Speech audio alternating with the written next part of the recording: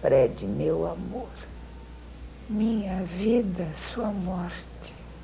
Meu amor. Eu não queria te matar, eu queria te libertar.